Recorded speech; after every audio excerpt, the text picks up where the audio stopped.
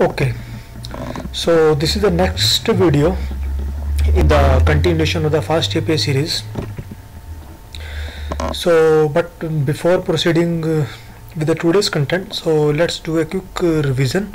Uh, what we have like covered till now. So we have covered like uh, 11 video we have covered uh, completed 11 videos till now so in the first video like uh, we created a very basic application.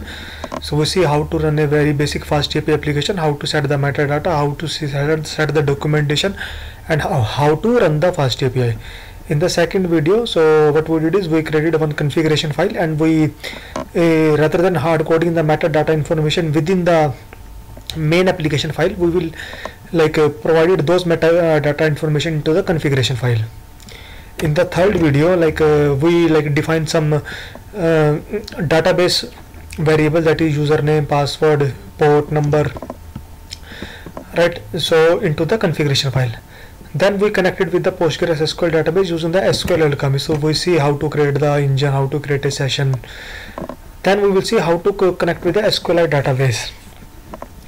Then we will see like how to create the table. So using the models so uh, um, in the SQL Alchemy like we created the tables in the form of classes only.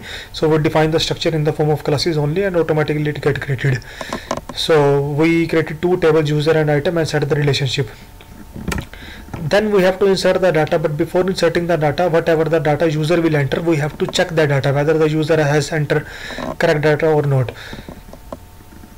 So to so to perform data validation we are using the pydantic schema then we see that dependency injection like what is dependency dependency injection. So dependency injection is basically the term. So using the same api we can like uh, insert the data into the uh, production database and we uh, we can insert the data into the test database.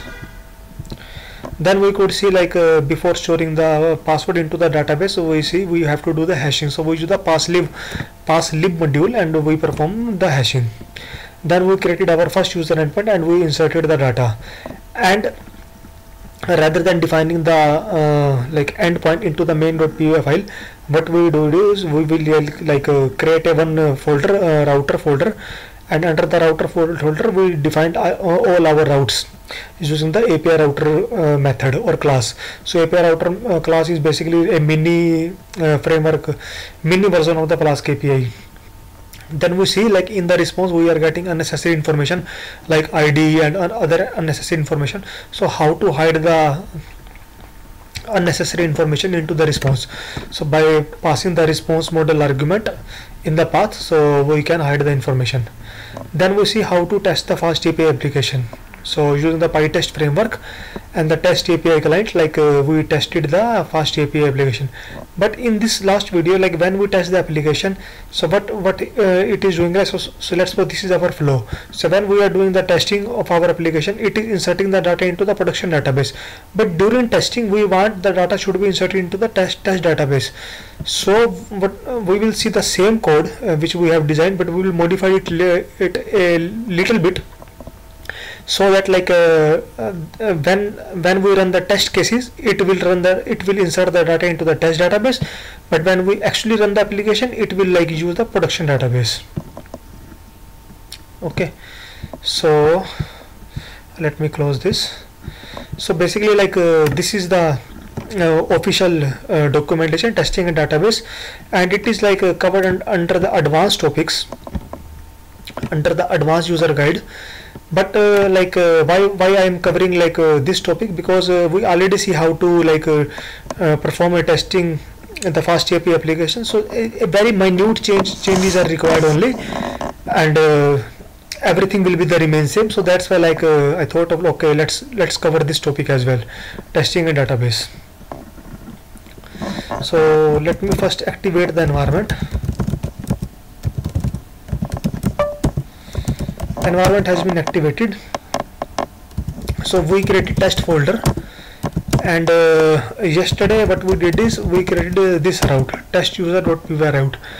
And we have like uh, uh, define our test case like we are like uh, using the client uh, a test client is basically like same as of response request library. So using the you can say request library we are like hitting the url and whatever the response will we get we are like uh, validating it. But here uh, like uh, automatically like because we are importing the um, um, app like object from the main and uh, uh, this app like uh, has the connection with our production database so it will like accessing the production production database or you can say postgresql database. But how to like do the testing like insert like while testing we want the data should be inserted into the testing database. And as part of the testing database we will use the sqlite database. So what happened? So what we will do like uh, we will first like uh, define the database. Okay what database like uh, we want we eh, we want. Okay so let's define the database. So sql alchemy database url so uh, for the testing purpose uh, we want the SQLite, uh, SQLite database. So SQLite 3 slashes dot and let do make it test db okay so SQL Alchemy database URL has been like uh, defined now we have to connect our engine with the test database. So first we like import import the uh, create engine uh, from the SQL Alchemy from SQL Alchemy import create engine. So we will create engine. So engine is equal to create engine. Because this time like a, uh, database is different so we have to like create a connection with this database as well.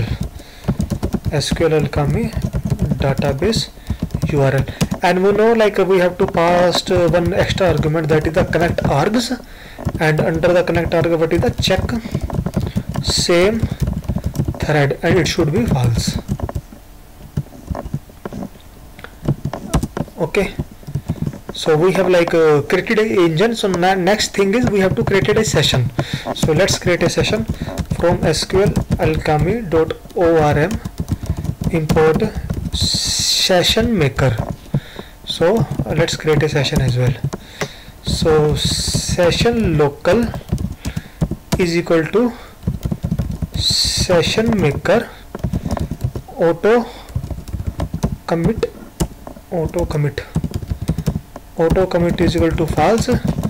Auto flush is equal to false. And bind is equal to engine. So we are binding the particular uh, session with the like uh, engine. So rather than the session uh, uh local we will use the testing session local. Because session local like uh, keyword like we are already using for the production uh, session. Now we have the like session local is available. Right so like first we have to like uh, okay so th uh, these things are like uh, ready uh, with us. Now what we have to do? We have to uh, now okay. So we have to create the tables into the like uh, because now it is a different database. So what we want? Say like it will like read the metadata and it will like uh, create the uh, table. So base dot metadata dot create all bind is equal to engine. So whenever test will be run the table should be should created. So we have to import the base class from database import base. Okay so we have like uh, created the base class. Now like uh, we created one uh, like get db function so we have to import it the get db function as well. And we will like override this get db function because let me show you. Nano database nano database so we created this uh, like uh, get db function and uh, we created this why we created this get db function? Because like otherwise we are doing nothing in this we are just creating a session right? So like session this session is basically a session class. So we are like creating a object of the particular session class. So we are creating a object of the particular session class. So rather than like defining all this thing in a function we can just add one one extra line here. But because we have to use the dependency injection for our uh, testing purpose uh, so that like this session like db is a particular session so this session is for the production database. Now we have to override the particular session. So that we have to create a separate session for the testing database. So we have to override this function. So what we will do is so we will like uh, create a function override get db and perform everything same. Try uh, so what is the function name uh, try and uh, db. Now we will create the uh, like uh, object of the testing session. All right and then finally db dot close. And here we have to return the db as well. So yield basically it is a generator. Now we have like created a like a, a override function but like we have imported this get db so we have to override this get db so there is just one line app dot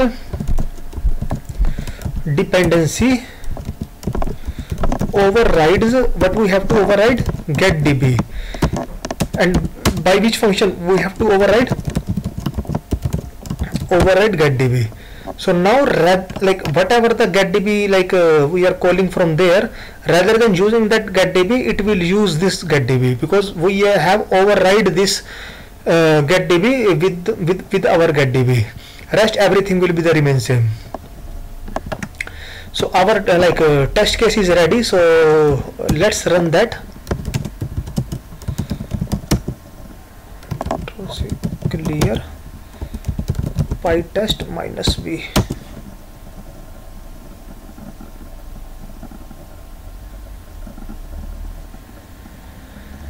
okay so base has no attribute metadata.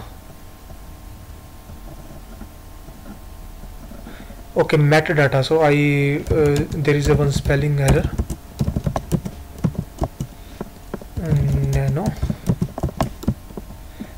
Base dot metadata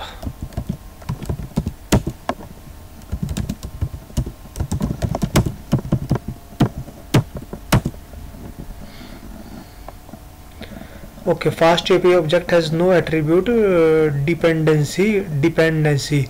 Okay there is a spelling mistake again. Dependency.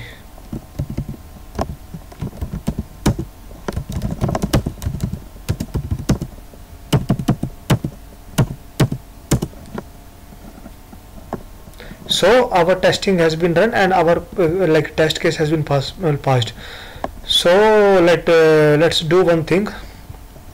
So this is like SQLite we have SQLite browser. Just to like uh, browse the SQLite database. So what is our like uh, we like we uh, like uh, we have created uh, like test.db right? So test.db has been created and let's see whether the data has been inserted or not so there are two tables created. If we browse the data and if we browse the data for the user table so data has been inserted. And the same data we have inserted test user 1 at the rate test.com so let me show you cd test nano test user. So we are using the test user one at the rate test uh, test.com right so we have like just modified our test uh, like uh, test case. Uh, this these things will be the remain same. So everything will be the remain same. Top top thing will be the remain same. Like we have not changed anything. So everything will be the remain same okay we have to use some another database. So we have to like define uh, the other database. If we define other database we have to like uh, uh set is set a connection with them and we have to create a one session. So we are creating a session but we are creating a session into the getDB function. So we we just like override our getDB function. Okay so our like test has been like ready. But like if we if i like if uh, if I rerun this test case it will fail because it says that like test user one like uh, uh, user has already been uh, inserted. So what we will do is whenever the database will be closed I will drop all the database. Base dot metadata dot drop all.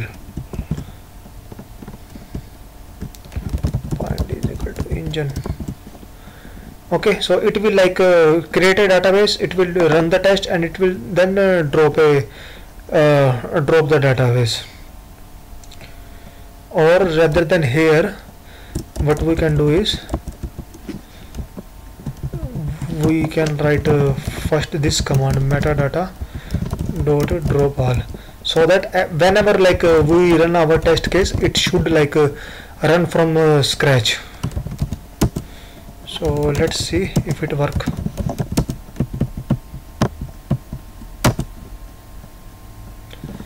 Oh, again we did some spelling mistake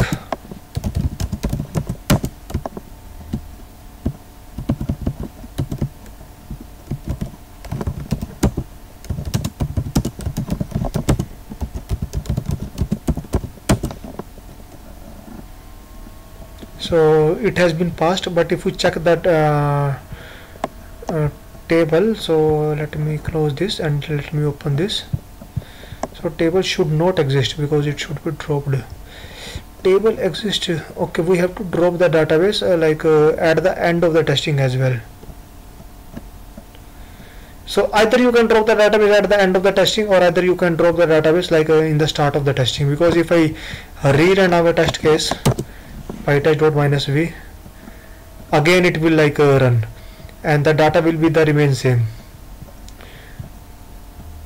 Because what we are doing is we are like dropping the database and then like uh, uh, creating it. Okay so we have uh, like uh, covered this topic as well. So if you like go through this documentation uh, so whatever i have told you everything will be the remain same so they told that we have to create a new database session because now we have the testing database. So we have to create a new like uh, uh, database session. So how to create a session? So first we have to create a engine and then we create a uh, like session class and then we create a session. But the session is like we are creating into the override getDB uh, like a, in a function and we will override uh, the getDB using the dependency override. Rest everything everything will be the remain same okay